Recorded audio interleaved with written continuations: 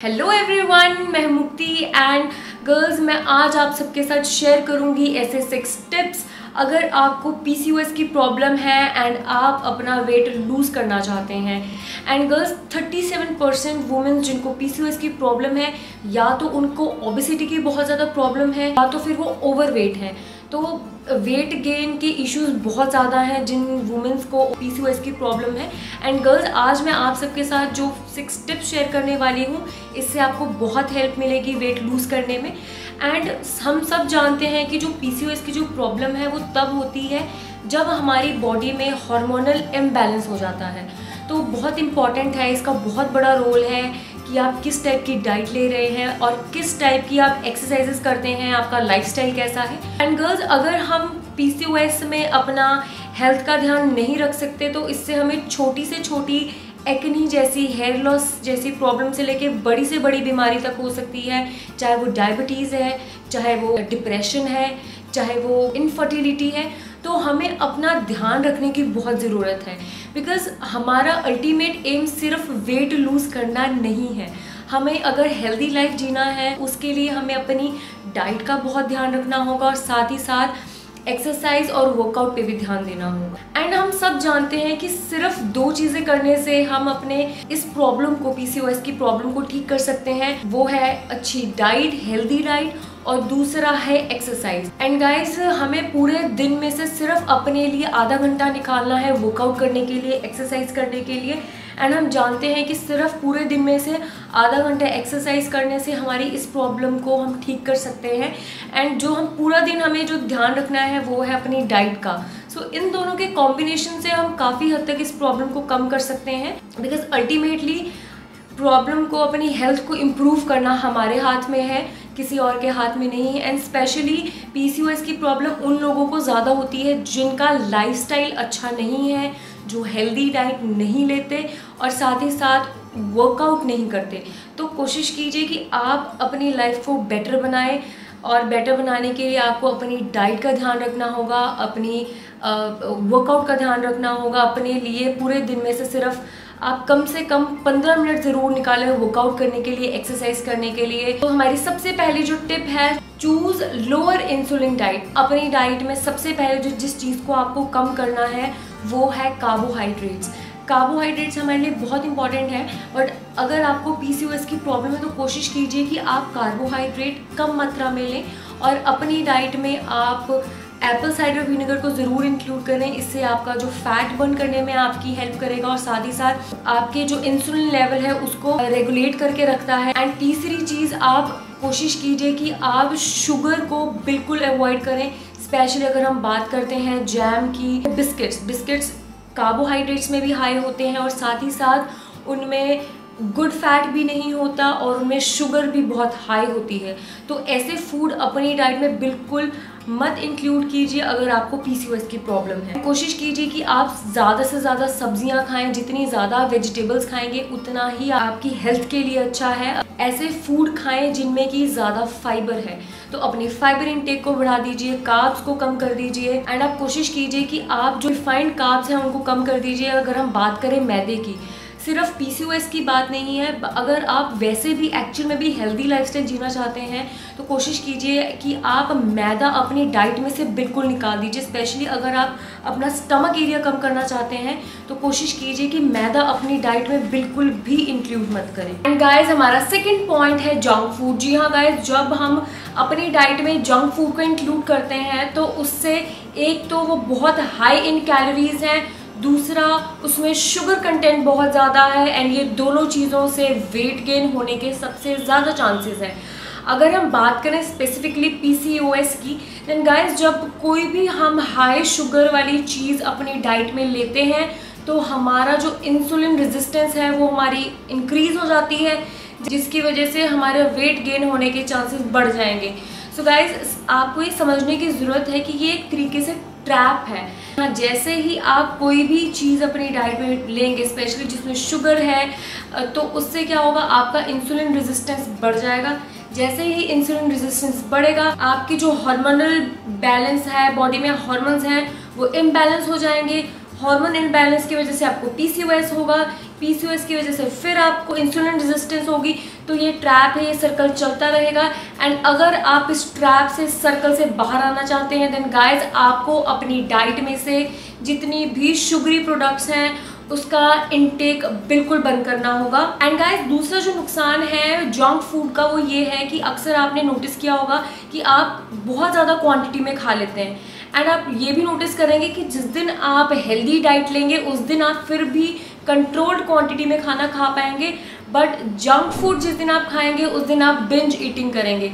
तो अगर आप ये बिंज ईटिंग हैबिट छोड़ना चाहते हैं देन जंक फ़ूड को अपनी डाइट में से ज़रूर निकालिए बिकॉज़ जंक फ़ूड खाने से हमारी जो ये बिंज ईटिंग हैबिट है, वो इससे इनक्रेज होती है। तो आप कोशिश कीजिए कि आप जंक फ़ूड को अपनी डाइट में से बिल्कुल निकाल दीजिए। इसमें मैं ये ऐड करना चाहूँगी कि जब हम जंक फ़ूड की बात करते हैं तो हमारे दिमाग में बर्गर पिज़्ज़ा ये सब आता है, जो चीज़ें हम खाते हैं।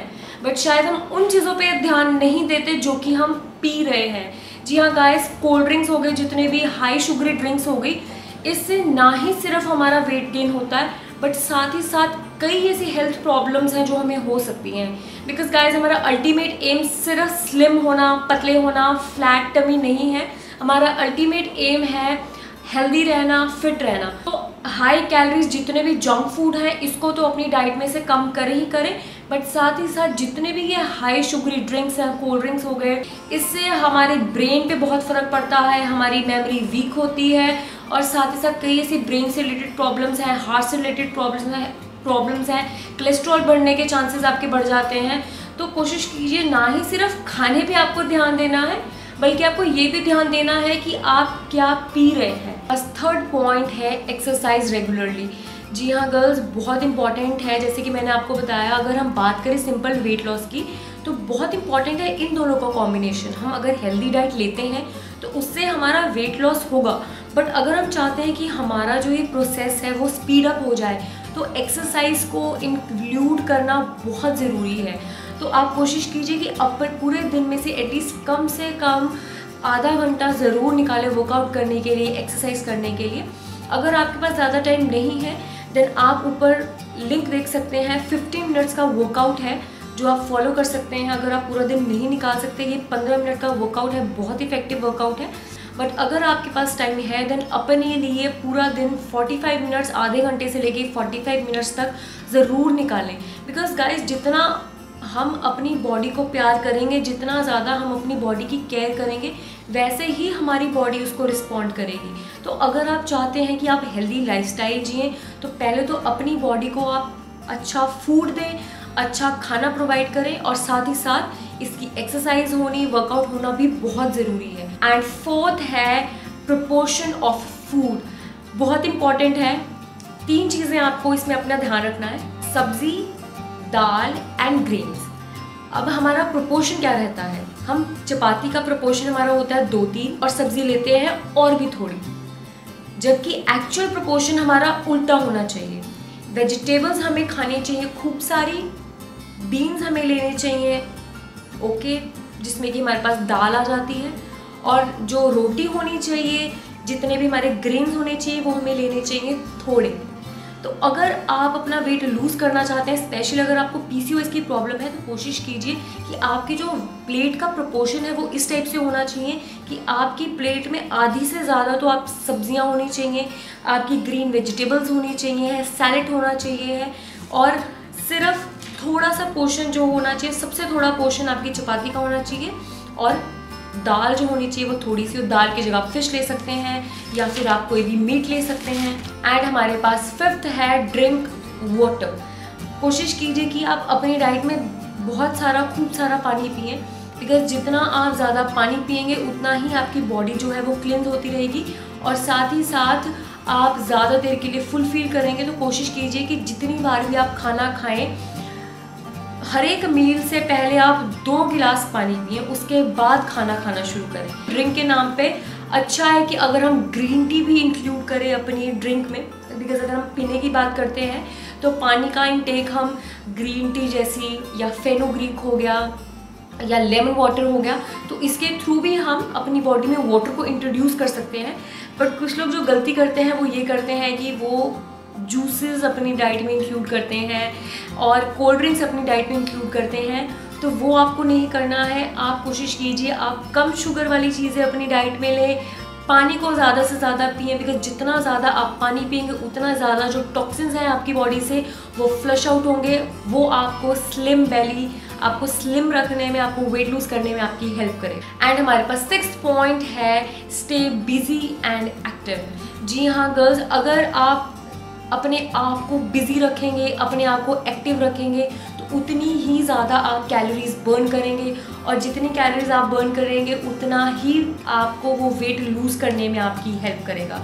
एंड गर्ल्स बहुत इंपॉर्टेंट रोल प्ले करता है अगर हम बात करते हैं कैलोरीज की, कि आप कितनी कैलोरीज अपनी डाइट में लेते हैं तो आपको लिंक देख सकते हैं, ऊपर आएगा। कि कैसे अगर आपको पता चल जाए कि आपको कितनी कैलोरीज लेनी चाहिए तो वो आपको कैसे वेट गेन करने में आपकी हेल्प करता है और वेट लूज़ करने में भी आपकी हेल्प करता है। तो अगर आपको ये कैलोरीज गेम पता चल गई तो बहुत आपको हेल्प मिलेगी वेट लूज़ करने में। And that's it guys and नीचे जो लाल कलर का सब्सक्राइब का बटन है, उसे फटाफट क्लिक करें।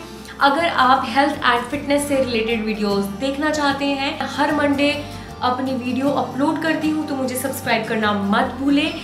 आप मुझे इंस्टाग्राम पे फॉलो करना मत भूलें। अगर आप देखना चाहते हैं मैं रेगुलर बेसिस पे क्या एक्सरसाइज करती हूँ, किन फूड्स को खाने के क्या क्या हेल्थ बेनिफिट्स हैं तो इस टाइप की इन्फॉर्मेशन मैं इंस्टाग्राम पे डालती रहती हूँ।